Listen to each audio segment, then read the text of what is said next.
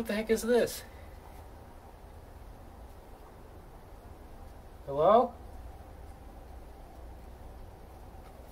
Where did this come from? What what are these things? Headphones? Noise canceling Sony headphones? Why would someone drop these on my doorstep? Well, I may as well use these and see if they're any good. Ah, yes, the Sony WH-1000X Mark IVs. Many people consider these to be the king of noise canceling headphones, but are they really the king? Well, that's what I am here to figure out. These headphones retail for $350 normally, but you can get them for $270 during the holiday season and as of right now. So for the past week, I've sat back, relaxed, and listened to some tunes on these wonderful, wonderful headphones.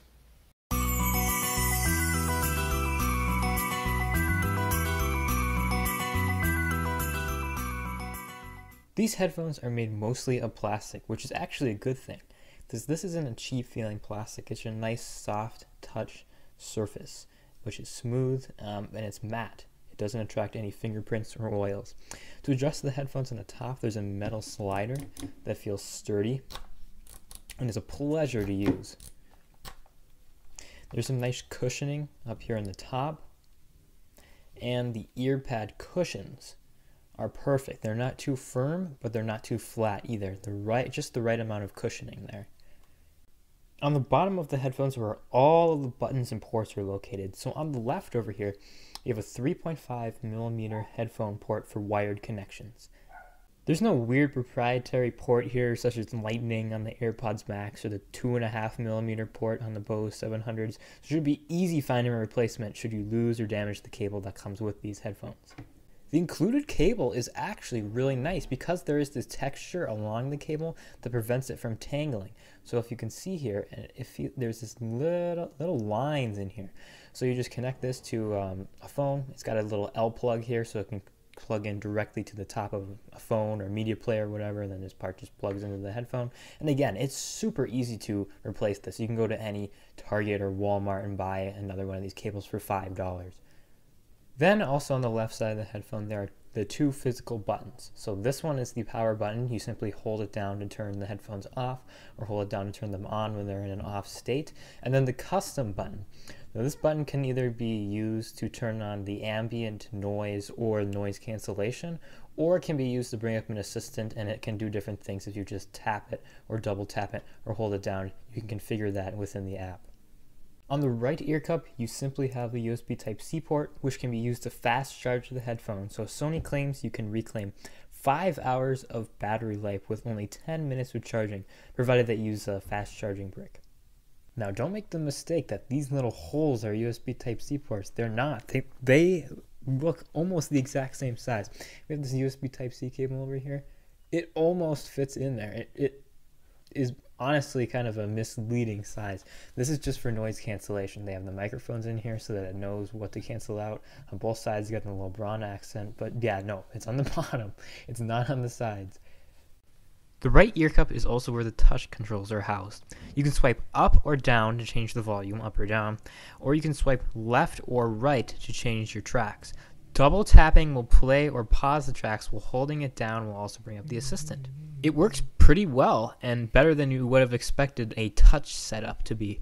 One interesting thing to note is that if you have long hair like me, sometimes the hair can get in the way of the touchpad surface, so you need to move it out of the way in order to your ta- tracks, which isn't a huge deal at all, but it's just something that wouldn't really occur if you just had physical buttons you would press. Just something to note.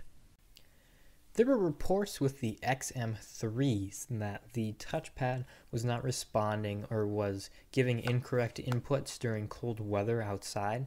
So, since it's the end of December, I thought it would be the perfect opportunity to use these outside. And I have used these for an extensive amount of time while shoveling, walking, doing whatever outside. So, I will go out there and explain if I've had the same issues or not. Okay, so I was shuffling out here for a good hour and a, hour and a half yesterday, and I didn't have any touchpad problems until about 40 minutes in. I could still play, pause, move tracks back and forth, adjust the volume, whatever, but the transparency mode went on, and I was like, okay, maybe it'll turn back off. And then another five minutes later, it went back on, so the music just stopped. I had to wait for it to stop, the transparency and then go back to the song. So that happened about five times before I was just like, you know what, no, turn off the touch controls. So it is still very much an issue in the cold. This stuff still worked, but the transparency mode, it just, for whatever reason, was acting up. So, how comfortable are they to wear? Extremely. They're super light, they weigh around 250 grams, and the combination of the light plastic and the comfortable padding make these a joy to use for an extended period of time. Just like all headphones, though, the ear pads do get a bit sweaty if you're using them indoors or during a warm climate. But enough with the design. How do you set these things up initially? Well, it's easy to set these headphones up for the first time, thankfully. All you need to do is just simply turn on your phone's Bluetooth, connect them just like any other Bluetooth device. But these headphones also support Android's fast pair. So if you turn on the headphones for the first time and have your phone near, your phone has Bluetooth on, a screen will come up asking you if you want to pair them. Simply all you need to do then is tap pair and the headphones will pair. You don't even need to go into the settings. You can also tap your phone to the NFC spot on the left ear cup to pair the headphones as well. I also noticed one unique little trick with this NFC pad over here. So even if you already have the device paired, but Bluetooth isn't on, so right now with this device, Bluetooth is off. If you just tap it to the back, NFC, vibrates your phone obviously, the headphones turn on, it says connected, and then it's playing the song right now. It's not playing this song, it's playing this. But it instantly turns on the headphones and plays whatever song was recently playing, which is crazy. So not only can you use this feature to pair the two devices, you can also just use it to play songs if you really just want to play something real quick. Of course, we have to get to the most important part of headphones, which is the sound. So I tested these headphones on a variety of tracks, both local lossless FLAC files and lossy streamed music from Napster and YouTube. Listening to songs from the stock sound configuration, at first I wasn't too impressed with the sound. Songs sounded a bit muddy with too much added bass, but the great thing is that these headphones have a wonderful equalizer within the app which some headphones in this price range, like the Bose 700s, don't even include. There are quite a few pre-pick settings to choose from, but you can also completely customize the sound for yourself with five different dials ranging from the lows to the highs. So the setting that I used for most of the time after setting them up was the bright setting, as for me it sounded far better than all of the rest settings, to my ears at least. I don't listen to songs with a ton of bass in them, so having an emphasis on the higher tones was great. It was great having the option to be able to turn it to that. Of course, you can determine what setting at the end of the day is best for you. Previously, you could not use high quality codecs with the equalizer on the MX3s, but you can do so on the MX4s. So that might be a reason for many to pick up this model over the older model if you want to really fine tune your music. Be aware, however, that the equalizer only works over Bluetooth, not wired. So if you use these with a cable, you will have to use an external equalizer or not use one at all. As for Bluetooth codecs, this year's model does not support aptX or aptX HD due to a change in the chipset that they're using this year. But it does support Sony's LDAC, which is better anyway, so you're not losing out on anything. Regardless of whether you use it with an iPhone, with AAC, or an Android phone with LDAC, you'll be getting the best possible sound quality over Bluetooth.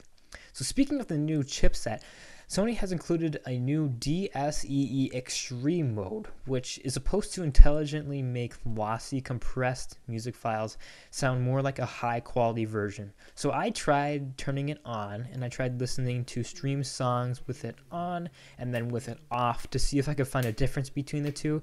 And I really couldn't determine a difference between them, but perhaps your results will vary. It's just nice to have this feature regardless, as many people just use streaming as their primary way of listening to music. And as for connection, I've had no problems over Bluetooth. It's been an extremely stable connection, even over LDAC. Overall, I would say the sound quality is good. It's nice that there's so much customization for people so you can really determine what sounds best to you. One thing to note is that when wearing these, it does make your ears feel sort of like they're stuck in a vacuum, even when you have the noise cancellation turned off. And since this is my first pair of noise canceling over the ear headphones, it has felt very strange to me. So just be aware of that. Even when you don't have it turned on and you put these headphones over your ears, it still cancels out a lot of the noise passively and it does feel like a vacuum. So beware. Okay, so this is a test of the mic from the XM4s. This should give you a good understanding of how these might sound if you're on a Zoom call or during a phone call with friends or family, or if you're recording a video like this from the headphone mic, not from the computer. This is from the headphones. So you should be able to understand how these sound different when compared to the other mic I've been using for this video, which is my Audio Technica mic over here. So tell me how they sound. This is from the exact same Chromebook, same position. I just changed the mic to the built-in mic on the Chromebook. So this is how it would sound if you're just using these as a headset. You're using like a computer as a mic or something instead of the headphones. So there's that sample. And then here's the same thing again, just with an actual somewhat professional mic that you might use if you're using a Zoom call or something. So comparatively, looking at the three of them, these definitely sound the worst. But if you're just walking around outside or you know you just need to use it for a simple call, I mean they work. Noise canceling, of course, noise canceling. That's kind of half the point of these headphones, isn't it? It can be described in one word phenomenal. It blocks out fan or heater noises, distant voices, and outside music. It even blocks out the winter winds during a blizzard, which recently happened. I haven't had the opportunity to try these, obviously, in like a large city environment. That's not where I live, or on a plane due to the current pandemic, but I'm sure these would work perfectly for both situations. You hear this loud heater over here?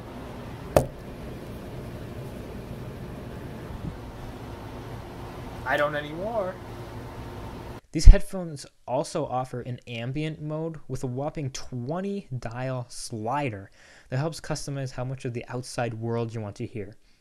So, speaking of modes, there's also a transparency mode where you can put your hand on the ear cup to pause your songs, which allows you to hear people or announcements from the outside world if you don't want to take off your headphones really quick. This again could be extremely useful in an airport or a train station when you're actually traveling. So maybe not great for the current situation, but it's a nice feature to have. Can I just talk about this case real quick? Because I've never heard anyone else talk about this case.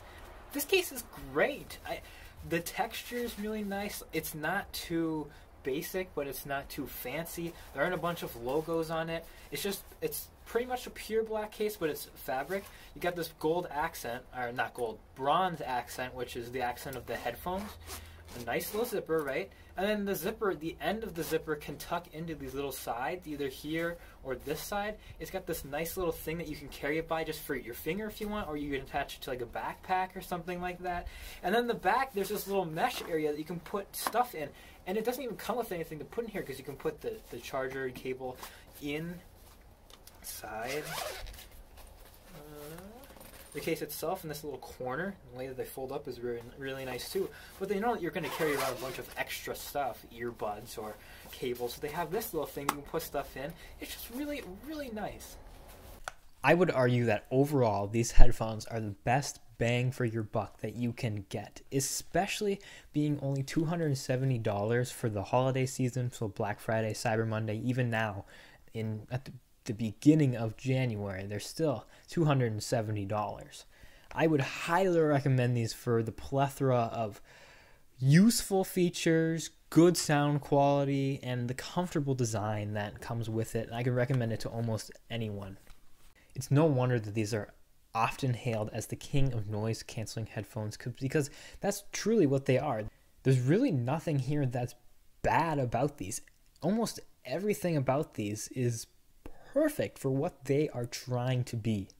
If you look at smartphones, for example, there's a certain point where paying a little bit more doesn't really get you that much. Like I would argue that going from a $200 smartphone to a $400 smartphone, you're getting so much more with that price jump, so it's absolutely worth it. But going from a $400 smartphone to you know an $800, $900 smartphone isn't worth it because you're not getting as much with it.